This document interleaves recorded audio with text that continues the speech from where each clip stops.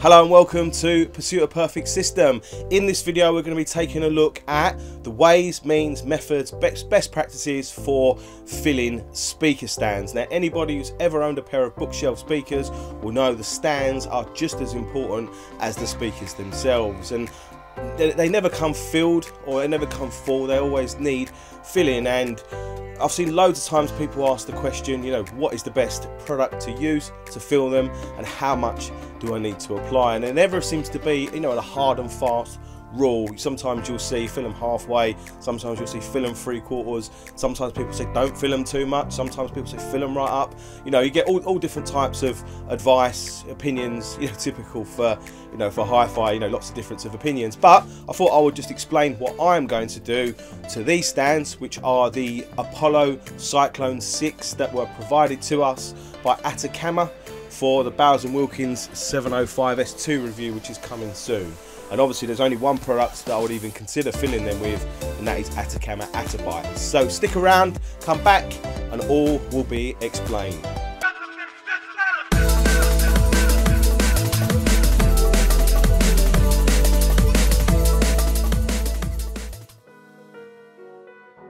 There's two real main reasons why you feel speaker stands. And the first one is very obvious. The first one is for mass loading, basically adding weight. We look at these, for example, these Apollo Cyclone 6 speaker stands from Atacama in their Apollo range. These are empty and hollow at the moment. It doesn't take a lot of pressure to move them backwards and forwards, left and right. Oh, excuse me, but obviously in terms of backwards and forwards, left and right, no pressure at all. Now, if we've got our very expensive and heavy bookshelf speaker sitting on top of that, obviously centre of gravity is high. It's not going to take a lot to knock the speaker over. Now, it's probably going to affect performance a little bit as well, but obviously adding weight to this just means if we bump it by mistake when we come to clean it, if for example the kids bump into it, you know, running around, it's not going to fall over. So that's the obvious reason for mass loading a speaker stand, but there's one that's actually more important from a sonic point of view, and that's to stop the speaker stand ringing. Now, if you listen to this, I'll do it again. I'll just tighten up a little bit. Do it again.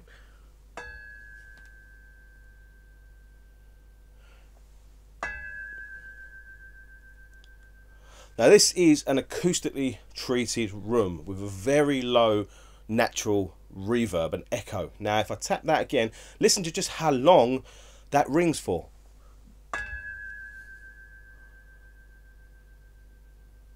That's like three seconds or more. So that is not good for sound. I mean, when it comes to the Bowers & Wilkins 705S2 review, you'll see they put a huge amount of effort and design in stopping that with inside the cabinet.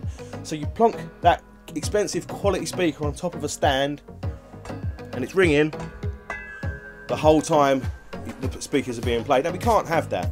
So that is really the big benefit of mass loading or filling the stands. Now, what do we use to fill the stands? Now again, if you go and do a Google search, you'll find a million threads on forums where people are suggesting this and they're suggesting that. People have suggested cat litter, I've seen that before. People have suggested sand, obviously dry kiln sand that you before you put it in, you have to bake it in the oven. Palaver. Why would you go to all that effort when you can just for under £30 on Amazon you can buy a tub of Atabites? Now they are a metal type of filler which are zinc coated. Over time there will be no oxidization and degradation within your stands. So £30, you know, it's not cheap, but it's not relatively speaking expensive either. Now you can pick up these Apollo Cyclone 6 speaker stands for £100 or just under £100. So add on a tub of Atabites, £130 and then we have the optimum solution for our product. Obviously people are still going to go and do what they always do but think about it logically why would you bother to go through all that aggro and grief when you could just buy a purpose made product and you probably will only need one tub per speaker stands at the very most I would imagine two. So what I want to show really in this video anybody can tip you know, a bag of something in, into a stand that's not really important. But what I just want to demonstrate is as we fill the speaker stand up this ringing will gradually reduce. And what I'm expecting to find is the ringing will actually change. So as we start adding the Atabites to the stand, I'm expecting the ringing to stop at the bottom of the stand here, but still happen up here. And what I think is the best approach is we keep adding filler, we keep adding Atabites until we can tap from top to bottom and there is no ringing at all. And that is enough. That is the perfect amount. So there's no guesswork there. The more we add, the more mass we add to the stand. So that is better. However, we don't want to put not enough in to stop the ringing and really we don't want to have to apply too much because that means might means we might need to buy more product than we actually need. Now these can't be too heavy, you know, it can't have too much in from that point of view, but we just want to fill it up just enough until there is absolutely no ringing from top to bottom. So let's get to it. Okay, so what you can see here, this is our obviously Apollo Cyclone 6 stand with the top off. Obviously this is it here with the top on, with the top off. As you can see here, this is very much a Blue Peter style funnel using a piece of paper that had a previous video script on it and some sellotape and have made a funnel. Now, because I am the clumsiest man in the world, I've actually poured just some of our Atabites from the bag that they come in, obviously into the bucket. And what I'm going to do is just gradually do it bit by bit and take my time because otherwise it will end up all over the floor. So please bear with me.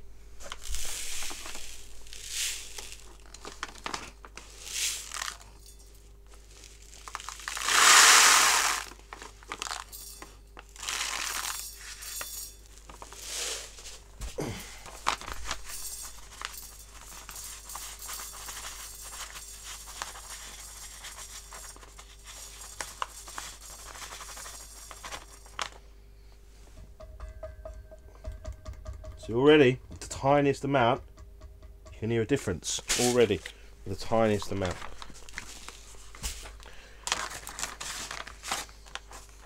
This is not ideal, I would advise, you know, to get yourself a real funnel.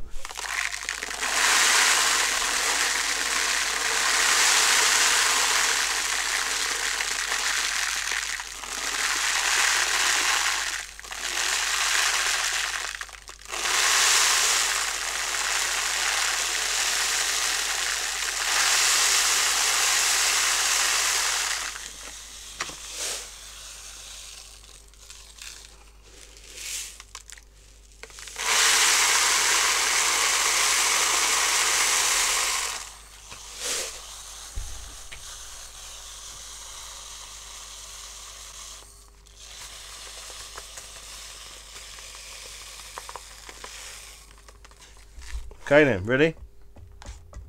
Look at the difference. I'm tapping the bottom. Look at the difference. As we move up, hear the changing. Can you hear the change in tone? It's pretty good already. Let's try putting this back on. I'll just try.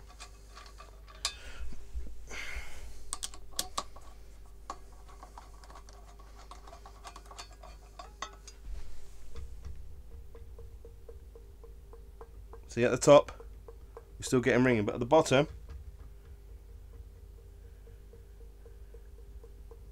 we're getting near the top, it changes still. So we need obviously quite a bit more yet.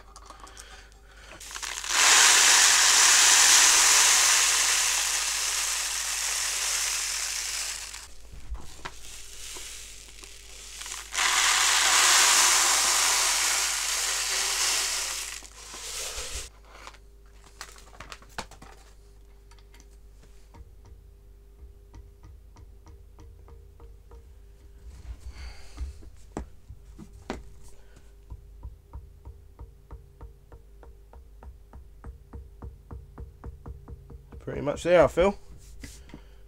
Just want a little bit more weight to it. I've hardly used any of what comes in this I'll show you how much. I've hardly used literally any of what comes in this tub here. Is a really good product. Basically I put all the product that obviously I put into this bucket but that is nowhere near. Then if we look at the bag this is what um, this is what I've got left and and I've got enough obviously in this one stand so there's enough here to probably do four of these which is you know for 30 pounds you know really good product so let's quickly put it to the test We'll just move that to there for a second. Looking inside the speaker stand, we are full to about here. So we're about three quarters full. So let's test to see if we think that's enough. We'll just our top on and do our tap test.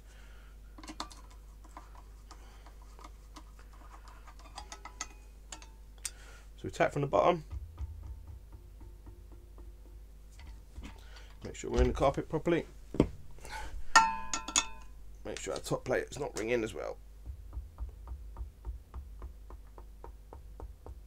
a little bit at the top still. I think I should apply a bit more. So, good thing about this product is no dust, there's minimal mess.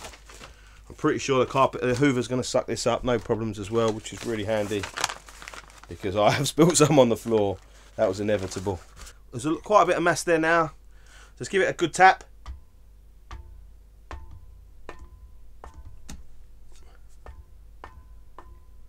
We're still getting a tiny bit, but if you think we're now getting probably half a second, if that, there, gone. Ready? Before it was lingering for maybe three seconds or more, wasn't it? So it's a significant improvement. And once we put obviously mass on the top of the speaker stand, once you put the actual speaker on, obviously that's going to obviously help add mass to the top and stop the top plate, which is probably ringing a tiny bit as well. But we can clearly hear it's a significant improvement but I'm going to apply a little bit more I just want to see if I can really deaden this down as much as possible so now we're full to about here and that should probably about do us yep significant more mass you know I need to obviously the spikes are not leveled so it's not perfect but once the spikes are leveled it's not going to go anywhere and we're good to go. Give it one more tap test. Still more. If you can see if you can hear this. Ready? See this tap? Now at the top.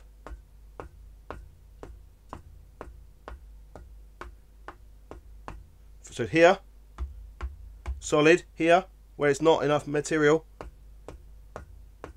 Just a little bit of ringing still. So if we're going to do it, do it right. Okay, so we're full now.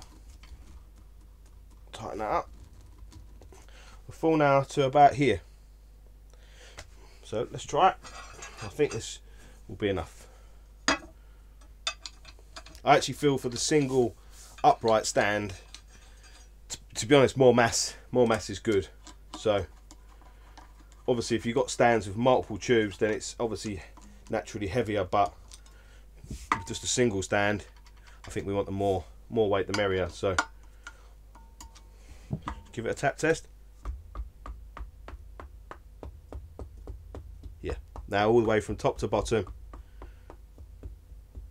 Even at the very top there's hardly any change or, or really no change really so that's being a, a, an OCD audiophile doing it like that but for me that one's now good so we know we need to fill our second one up so just below the top and then we won't get any ringing at all. So let's get on with that and come back to you in a second. Okay then quickly, both the stands are full with uh, Atabites and hopefully you can see this, we've still got best part of just under half a tub left. So we've got enough here to probably do pretty much another whole set of stands, which is incredible really. When you look at this as a retail product, it doesn't actually look like a lot, but in reality, there is a lot of product here. So when it comes to buying products, putting your speaker stands, this is the gear right here. So there we have it. We have both stands full. And as, as explained, for me, doing a tap test, these stands actually were much more inert once we actually pretty much filled them to the top.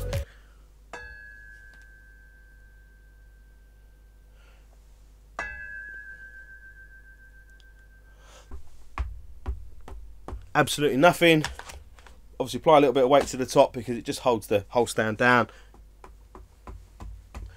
Perfect. No ringing at all. So again that tap ringing test is not something that you've I've ever seen before. It's something that I personally invented myself or thought of myself. Isolation you know isolation is very very big in products. And the last thing we want our stand's doing is adding any vibration or, or kind of ringing in any way, shape or form. Because all that's going to do is cloud the music. And one of the big benefits and great things about bookshelf speakers and smaller speakers is the imaging that they create. So the last thing we want to do is add any type of smearing to that at all. So I hope this video has been helpful. It's pretty simplistic, it's a pretty basic thing. It just not everybody maybe have thought of it like that. Maybe people just go hit and hope. I'll just half fill it or I'll three quarters fill it, hit and hope. And I'm guessing once they've put the speaker stands down, once they've filled them up, put them down, got them in a good place, the last thing they're ever going to do is take the speakers off and start testing, putting more in, taking more out. So again, it's about you know, hi-fi. A lot of it is, I think, just taking the guesswork out of things, just thinking about things obviously logically, common sense. So I think just taking any type of ringing out of our stands as we can is all the better and there's no way that adding too much mass to this is going to make the bass any worse or anything. It can only make the sound tighter. So some of the best speakers in the world are made out of solid lumps of aluminium. So they are not going to ring at all. It's like one great big mass. And I suppose that is the great thing about using the Atabites which are a metal type of filler technically now this stand is pretty much the equivalent of being solid metal because the parts are so small they're all going to mesh together just like sand does only let's see we've got none of the extra hassles and stuff of sand. And uh, we've got you know a reasonable amount of weight to this now. If we push it you know, obviously it's still going to move because it's not bedded in the carpet but if we bed that in now. So one literally one tab of Atabites is more than enough to do set of these stands. Pretty much enough to do two or, or put them this close. I hope this video is helpful. Make sure you come back and check out the review for the speakers. Obviously there'll be a review for the stands as well. We review everything. There's loads of great content coming. We've got some fantastic products being sent to us soon. So I hope this is useful. Smash that like button, visit the website, come back and see us again. Take care. See you in the next video.